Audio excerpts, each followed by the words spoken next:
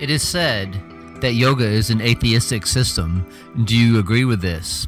This is the question that was posed to Osho in his book Yoga, the Alpha and the Omega, Volume 1, uh, the Patanjali series. So I'd like to pick up again where we left off with uh, the first podcast that we made about yoga and continue on a little bit deeper into Patanjali's Yoga Sutras. Uh, the first sutra is uh, Patanjali says to us, now the discipline of yoga. So, what does Patanjali mean by now? The word now is one of the most powerful words in the English language. Uh, but it baffles many people because they don't understand what uh, the seeker is supposed to understand or, or, or mean by the word now. But I want to help you understand Patanjali's meaning of what he means by now the Yoga Sutras to be in the state of now, to be in the present moment, to be to be um, in a frame of mind where you're not thinking about other things in the future or desiring other things in, in some future that does not exist. Um, this is what Patanjali means by now, or worried about things of the past and being pulled that way or, in that direction too. Now means focused in this moment. And when you're completely focused in the present moment, the mind actually stops and there is no mind. And this is what Patanjali calls uh, yoga. Yoga means the union with the divine, the the ultimate um, yoking, uh, bringing together uh, of you and, and God, and or uh, let's call it God's existence. So I'm really ecstatic to bring you these words and to share these words. I read these uh, words over 10 years ago and they sunk in, but I've kind of, um, you know, forgotten the uh, dynamic uh, uh um, uh, meaning be- behind all these words. Anyway, let's go uh, into the book um, Yoga, the Alpha and the Omega, Volume 1. And on page 30, Osho says, again, yoga is neither atheistic or theistic. Is a simple science. It is neither theistic nor atheistic. Panjali, Patanjali is really superb, a miracle of a man. He never talks about God. And if, even if he mentions God once, then too he says that God is just one of the methods to reach the ultimate. That the belief in God is just a, a method to reach the ultimate and there is no God. To believe in God is just a technique for him because through believing in God, prayer becomes possible. Through believing in God, surrender becomes possible. The significance of surrender and prayer, not of God. Patanjali is really unbelievable. He said that God, the belief in God, the concept of God, is also one of the methods among many methods to reach to the ultimate truth. Ishwar Pranidhan. To believe in God is just a path, but it is not necessary. You can choose something else. Buddha reaches to the ultimate reality without believing in God. He chooses a different path where God is not needed. It is as if you have come to my house and you have passed through a certain street. But that street was not the real goal. It was just an instrumental. You could have reached the same house through some other street. Others have reached through other streets. On your street, there may be green trees, big trees, and on other streets, there are not. So God is just one path. Remember the distinction. God is not the goal, God is just one of the paths. Patanjali never denies, he never assumes. He is absolutely scientific. It is difficult for Christians to understand how Buddha could attain the ultimate truth because he never believed in God and it is difficult for Hindus to believe that Mahavira could attain liberation because he never believed in God. Before Western thinkers became alert about Eastern religions, they always defined religion as God centered.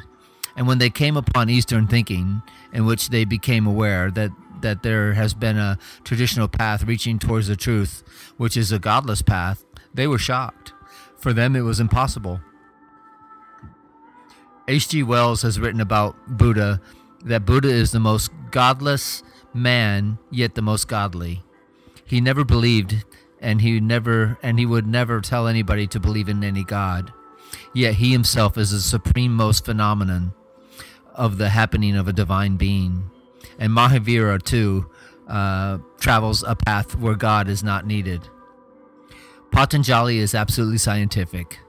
He says we are not tied to means. There are a thousand and one means. The goal is the truth. Some have achieved it through God, so it is okay. Then believe in God and achieve the goal. Because the goal is achieved when you throw your belief. So belief is just instrumental. If you do not believe, it is also okay. Don't believe. Travel the path of belieflessness and reach the goal. Patanjali is neither theist nor atheist. He is not creating a religion. He has simply shown you all the paths that are possible and all the laws that work towards your transformation. God is one of those paths, but he is not a must. If you are godless, there there is no need to be non-religious. Patanjali says that you can also reach. So be godless. Don't bother about God. These are the laws, and these are the experiments, and this is the meditation. Pass through it. He does not insist on any concept. It is very difficult to do this. That is why the Yoga Sutras of Patanjali are rare, unique. Such a book has never happened before, and there is no possibility of it ever happening again. Because what can be written about yoga, he has written. He has left nothing out. No one can add anything to it. There is no possibility in the future to create another work like Patanjali's Yoga Sutras. He has finished the job completely. And he could do this so totally because he was not partial. If he had been partial, he could not have done it totally, or so totally. Buddha is partial. Mahavira is partial. Jesus is partial. Muhammad is partial. Each of them has a certain path, but their polarity or polarity may be because of you, because of deep concern for you, a deep compassion for you. They insist on a certain path. They go on insisting for their whole life. They say everything else is wrong and this is the right path, just to create faith in you. You are so faithless.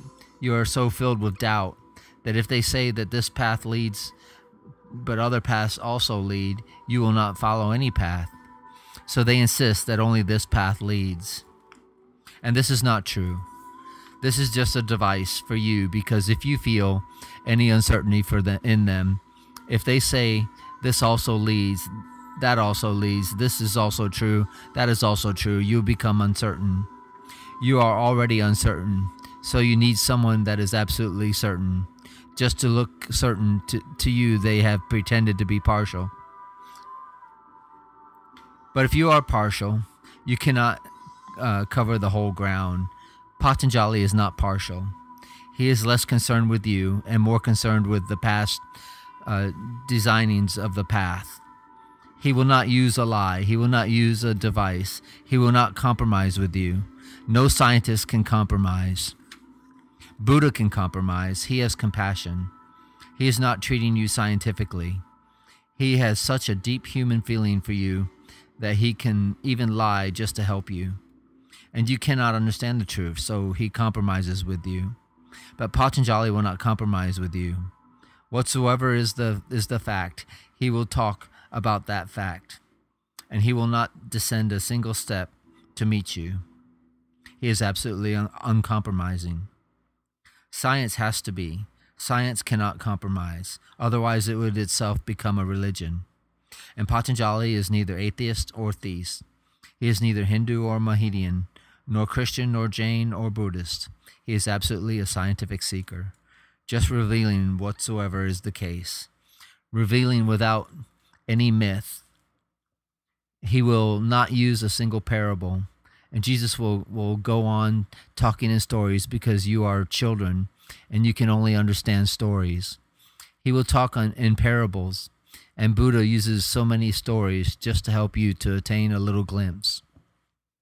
And I was reading a Hasid, a Jewish master, Baal Shem. He was a rabbi in a small village. And where, wherever, whenever there would be some, some trouble, some disease, some calamity in the village, he would move into the forest. He would go to a certain spot under a certain tree, and there he would perform a ritual. Then he would pray to God, and it, and it always happened that the calamity would leave the village. the illness would disappear from the village, the trouble would go. Then Baal Shem died. He had a successor, and a problem came again. The village was in trouble. There was some calamity, and the villagers asked the successor, the new rabbi, to go to the forest and pray to God. The new rabbi was very much disturbed because he didn't know the right spot, the exact tree. He was acquainted with, unacquainted with it, but still he went under the any old tree. He lit a fire, performed the ritual, and prayed and said to God, Look, I don't know the exact spot where my master used to go, but you know, you are omnipotent, you are omnipresent. So if so you know and there is no need to look for the exact spot. My village is in some trouble. So listen and do something. The calamity was was gone. Then when this rabbi died and his successor was there, again there was a problem. The village was undergoing a certain crisis. And again the villagers came and the rabbi was disturbed. He had even forgotten the prayer. He went into the forest and chose a place at random. He didn't know how to burn the ritual fire. But anyhow, he burned a fire and said to God, Listen, I don't know how to burn the ritual fire. I don't know the ex- exact spot, and I have forgotten the prayer. But you are all knowing, so you know already. There is no need. So do whatever is needed. And he came back to the village, and the village passed through the crisis. Then he also died, and he also had a successor. The village was again in trouble. So the people came to him. He was sitting in his armchair. He said, I don't want to go anywhere. Listen, God, you are everywhere. I don't know the prayer. I don't know any ritual, but that doesn't matter. My not knowing is not the point. You know everything. So, what is the use of praying? And what is the use of a ritual? And what is the use of a particular spot? I know only the story of my successors. And I will tell you the story that this is what happened in Baal Shem's time. There was, and then there was his successor, then his successor. This is the story. Now do what is right, and it, and it will be enough. And the calamity disappeared. And it is said that God loved the story very much. People love their stories, and God loves them also. And through stories, you can have a certain glimpse. But Patanjali will not use a single parable. As I told you, he was Einstein plus Buddha, a very rare combination. He had an inner witnessing of a Buddha and the mechanism of the mind of Einstein. So he is neither theist or atheist. Theism is a story. Atheism, atheism is an anti story. They are just myths. Man created parables. To, to some, one way appeals, to some, the other. Patanjali is not interested in any stories. He's not interested in any myths. He is interested in the naked truth. And he will not even clothe it. He will not even put on any dressing. He will not decorate it. That is not his way. Remember this. We will move on a very dry land, a desert land. But the desert land has a beauty of its own. It has no trees, it has no rivers, but it has a vastness of its own. No forest can be compared to it. Forests have their own beauties. Hills have their own beauties. Rivers have their own beauties. The desert has its own vast infinity. And we will be moving through a desert land. Courage is needed. Patanjali will not give you a single tree to rest under. He will not give you any story, just the bare facts. He will not use even a single superfluous word. Hence the word sutra. Sutra means the basic minimum. A sutra is not even a complete sentence. It's just the essential. It's just like when you give a telegram and you go on cutting superfluous words. Then it becomes a sutra because only nine or ten words can be put into it. If you were going to write a letter, you would fill 10 pages. And even in 10 pages, the message would not be complete. But in a telegram, in 10 words, it is not only complete, it is more than complete. It hits the heart. The very essence is there. And these are telegrams. Patanjali Sutras, he is a miser. He will not use a single superfluous word. Then how can he tell stories? He cannot. So don't expect any. Then don't ask whether he is a theist or whether he is an atheist. These are just stories. Philosophers have created many stories, and it is a game.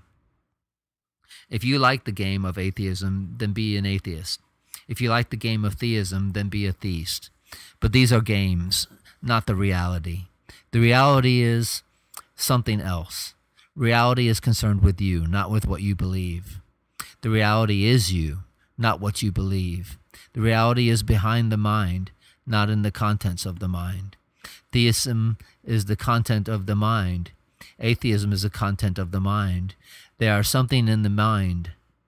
Hinduism is a content of the mind. Christianity is a content of the mind. And Patanjali is concerned with the beyond, not with the content. He says, throw the whole mind. Whatsoever it contains is useless. You may be carrying it or be carrying beautiful philosophies, but Patanjali will say, throw them. It is all rubbish. It is difficult. If somebody says your Bible is rubbish, your Gita is rubbish, your scriptures are rubbish, rot, so throw them, you'll be shocked. But this is what is going to happen. Patanjali is not going to make any compromise with you. He is uncompromising. And that is the, his beauty. That is the beauty that is his ultimate uniqueness.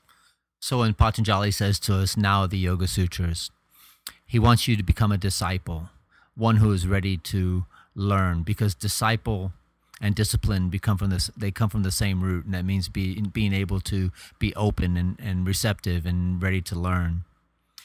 But listen to what a few more words of osho's um, since we're talking about discipleship. Somebody asked him the question you talked about the significance of discipleship on the path of yoga. How can an atheist be a disciple?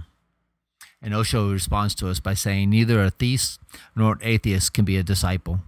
They have already taken an attitude. They have already decided. So, what is the point of being a, dis- a disciple? If you already know, how can you be a disciple? Discipleship means the realization that you do not know. Atheists, theists, know they cannot be disciples. If you believe in something, you will miss the beauty of discipleship.